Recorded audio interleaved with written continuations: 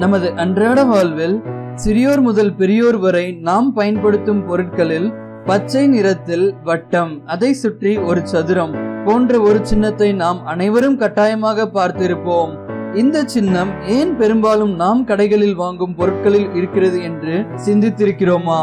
இந்த வீடியோவில் நாம் இந்த சின்னத்திற்கான காரணத்தை பார்ப்போம். பொதுவாக நாம் இந்த சின்னத்தை பல் விளக்க பயன்படுத்தும் கோல்கேட் குடிக்கும் காஃபி சாப்பிடும் பிஸ்கெட் குடிக்கும் குளிர்பானங்கள் மற்றும் சாப்பிடும் சாப்பாடு என நம் அன்றாட வாழ்வில் இந்த சின்னத்தை பார்த்திருக்கிறோம். ஆனால் நம்மில் அநேகரிடம் இந்த சின்னத்திற்கான காரணம் கேட்டால் அது அக்மார்க் முத்திரை என்பர். ஆனால் அது தவறான காரணம் ஆகும்.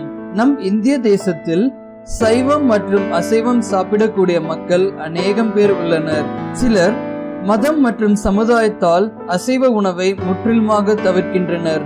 இன்னும் சிலர் சைவம் மட்டும்தான் சாப்பிட பிடிக்கும் என்று கூறுவர். இதனால் மக்களுடைய மதம் சம்பந்தமான ஒழுக்கங்களை பாதுகாக்க மற்றும் உதவியாக இருக்க இந்திய அரசாங்கம் உணவு பாதுகாப்பு மற்றும் தர நிர்ணயம் சட்டத்தின் கீழ் இரண்டாயிரத்தி ஆறாம் ஆண்டு இந்தியாவில் விற்கப்படும் உணவுப் பொருட்கள் சோப் ஷாம்பு டூத் பேஸ்ட் போன்ற பொருட்கள் எதிலிருந்து செய்யப்பட்டவை? சைவமா அசைவமா?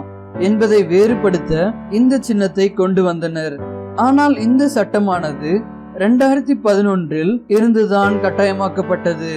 இந்த சட்டத்தை நீங்கள் பார்க்க விரும்பினால் டிஸ்கிரிப்ஷனில் உள்ள லிங்க் மூலம் கண்டறியலாம். இந்த சட்டத்தின்படி உற்பத்தியாளர்கள் உற்பத்தி செய்யும் பொருட்கள் சைவமா அல்லது அசைவமா என்பதை கட்டாயமாக அடையாளம் காட்ட வேண்டும். எனவே சைவ பொருட்களால் செய்யப்பட்டது என்றால் பச்சை நிறத்திலும் அசைவ பொருட்களால் செய்யப்பட்டது என்றால் பிரவுன் நிறத்திலும் வேறுபடுத்தி காட்டப்பட வேண்டும். எனவே இந்த காரணத்தால் தான் நாம் பயன்படுத்தும் பொருட்களில் இந்த பச்சை நிறமானது அச்சிடப்பட்டுள்ளது.